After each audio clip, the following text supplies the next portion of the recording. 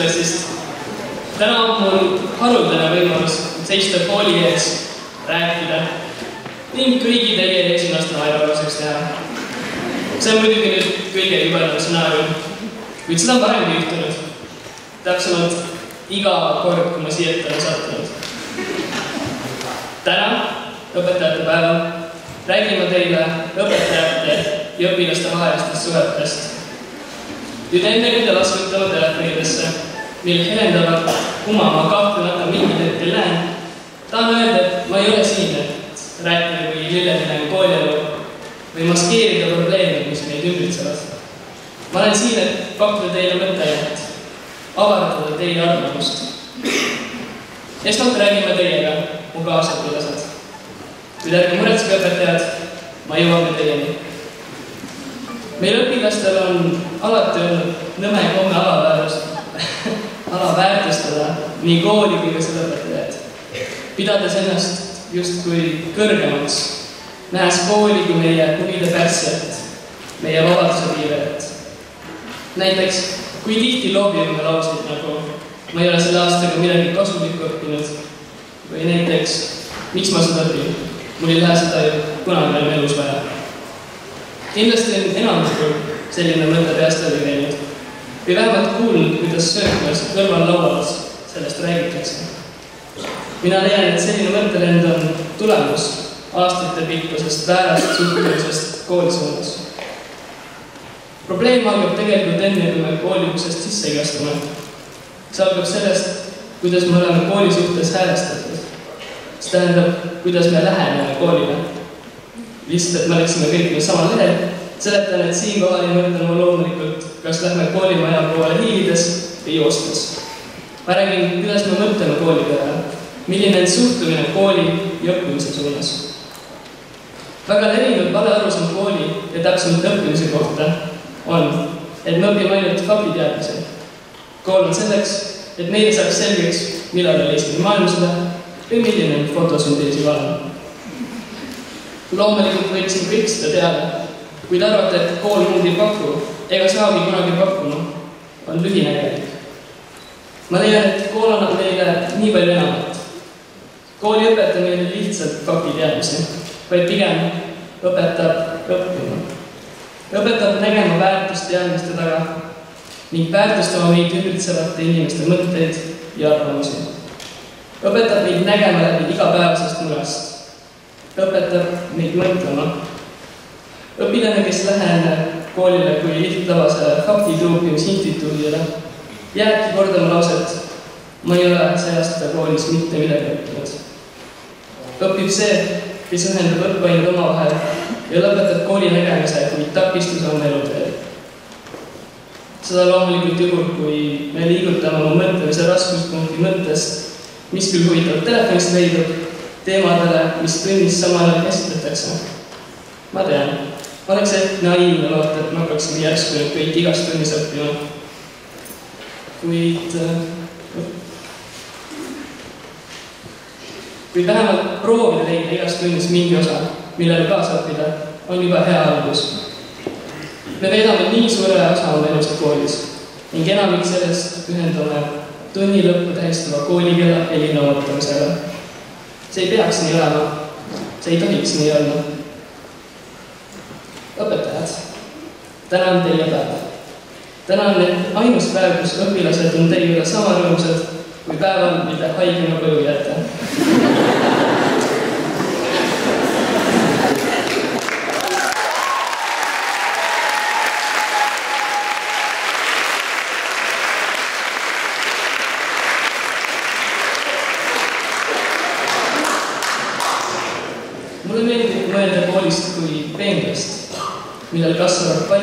Sorti taimi ning nad saavad kasvada ainult siis, kui neile pakkuda piisavalt tuge, aega, ruumi ja toitaineid. iga taim võib vajada erinevat lähenemist ja see võib olla äärmiselt aeganõudev ja hulluks ajav protsess. kuid ilma teie väsimatu hooleta ei kasvaks peenral muud kui umbrohi ja lilled, mis kunagi jõudnud õitsemiseni. õpilased vajavad tuge, tahame seda endale tunnistada veel õpetaja roll õpilase elus on äärmiselt tähtis ning mõjutab kogu õpilase elukäiku. õpilasesõbralik koolitee võib areneda ainult vastastikusel koostööl. mõlemal poolel on võrdne osa. tõtt-öelda ei väärtustata õpetajaametit meie ühiskonnas piisavalt, ei riigi ega ka kindlasti mitte meie õpilaste poolt. täna tahan ma tänada teid kõiki selle äärmiselt raske töö eest. Eriti neid, kes on tulnud õpilastele poolele teele vastu, kes on aidanud neis äratada huvi teadmiste vastu. igat õpetajat, kes on leidnud igas õpilases midagi, mis teda motiveerib, mis äratab temast tungi õppida. Teie olete need, kes vormivad meie tulevikuühiskonda ning teie häälel on kaalu, milline see ühiskond olema saab nüüd lõpetuseks.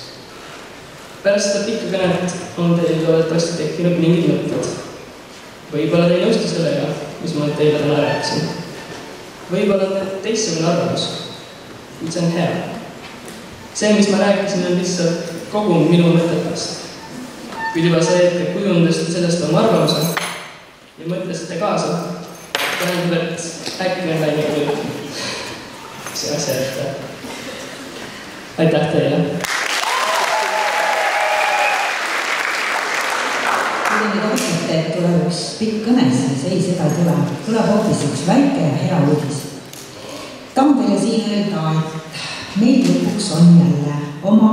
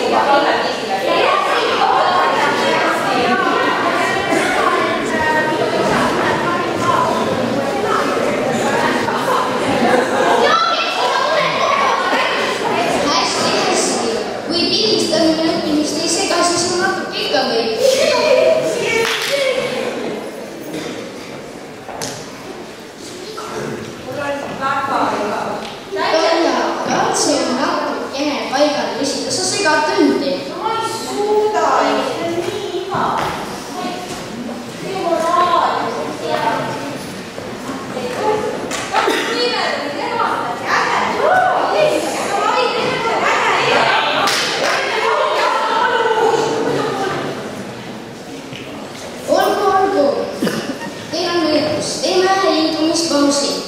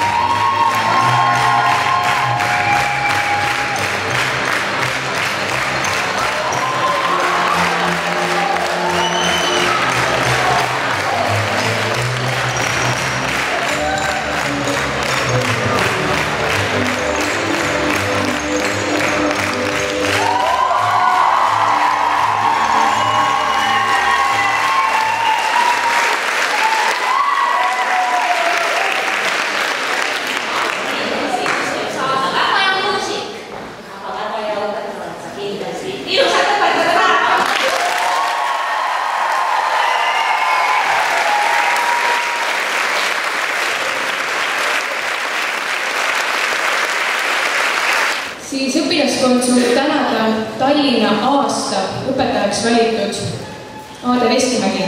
aplaus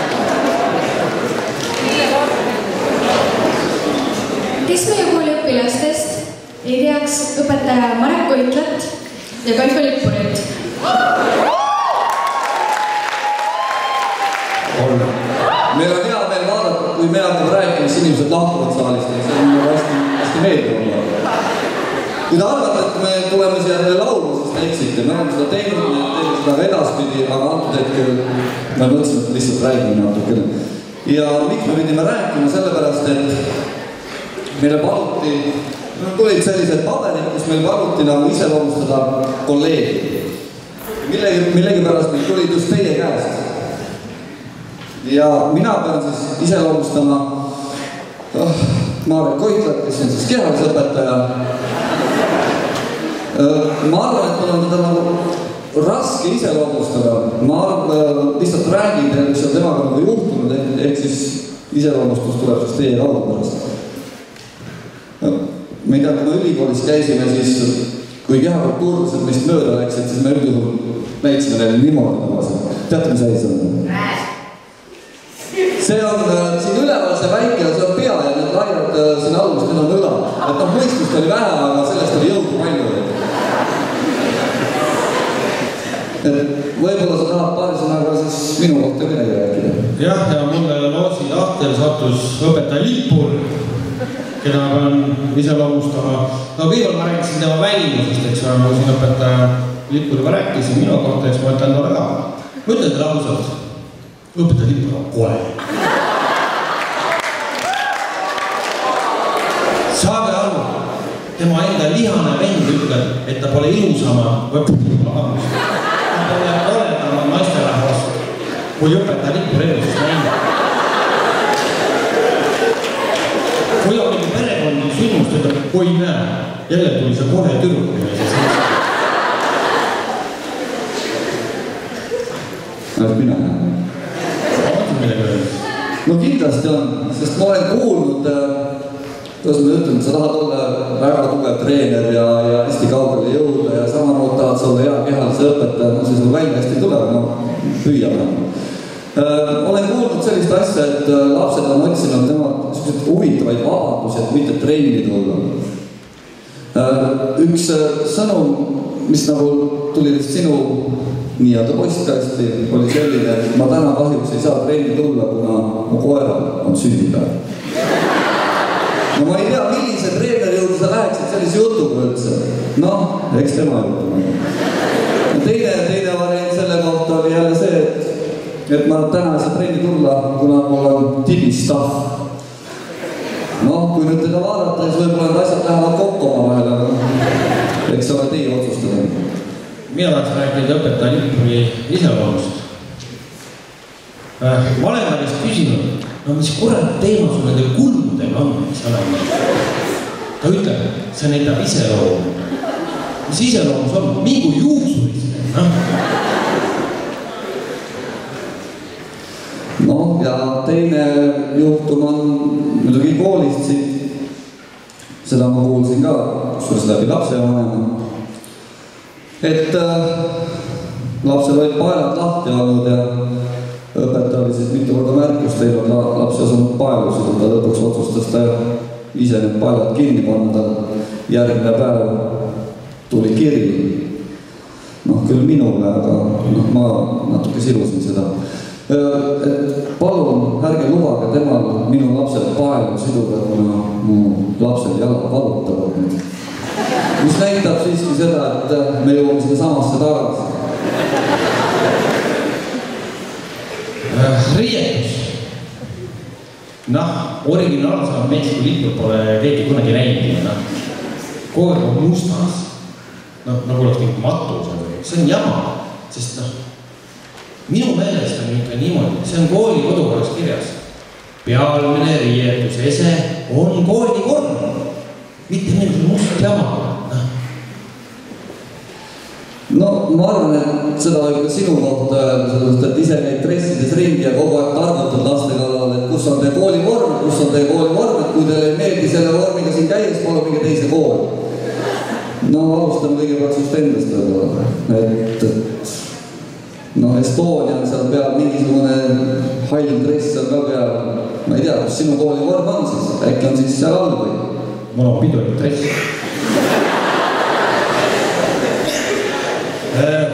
noh, mis me siin jahume, aga mõtlesin, et äh, räägin äh, õpetaja Lippuriga, kutsun ta välja ja noh, mingi vahetunne läksin tema juurde ja kuule, et lähme räägime nagu mees-mehega.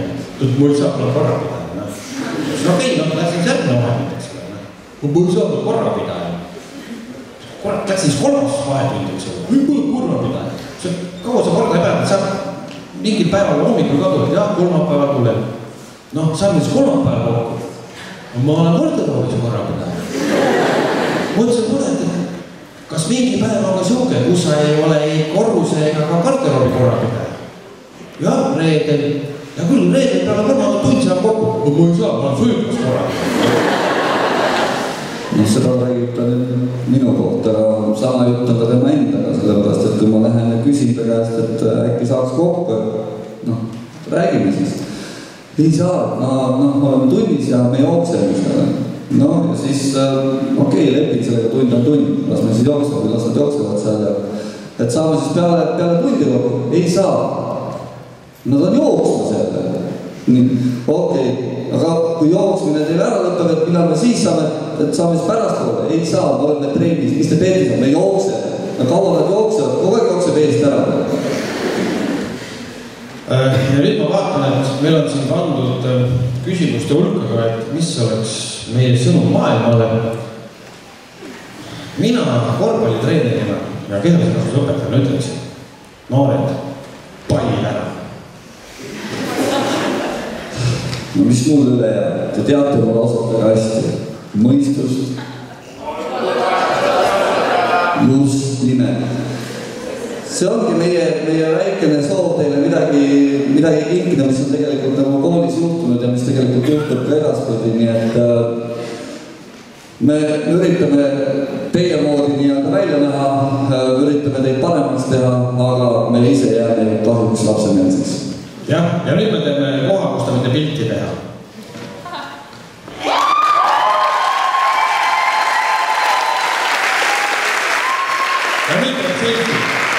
Ja nüüd tuleb üks selfie ka, me mõtlesime, teeme seda koos teiega, see oleks palju lahedam. Te võite meile vastu teha, me teeme teie poole selle kõik.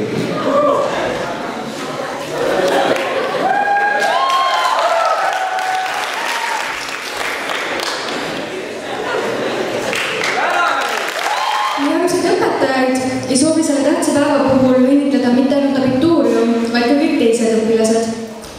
omapoolse kingitusena esitab teile luuletuse viiendat C-klassi õpilane Makar Kõli.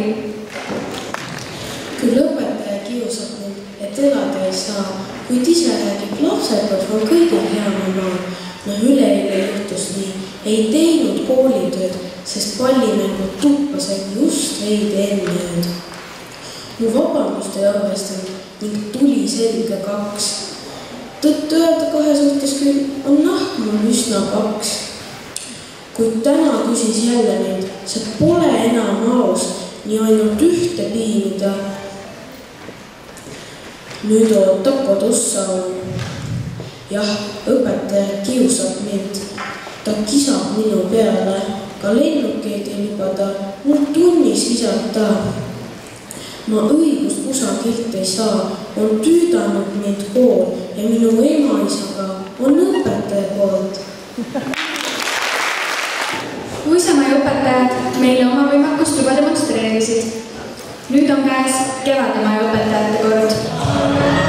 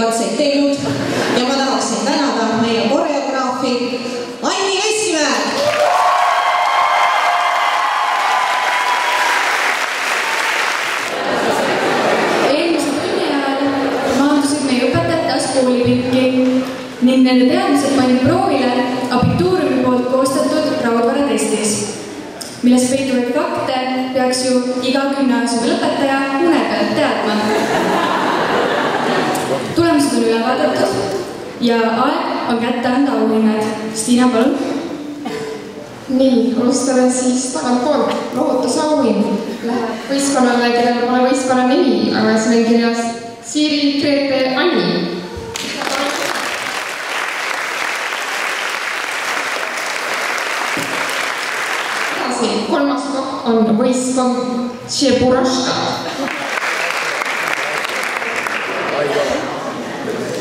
teine koht on võistkond nimega Kükk, kõrgel keega, jah?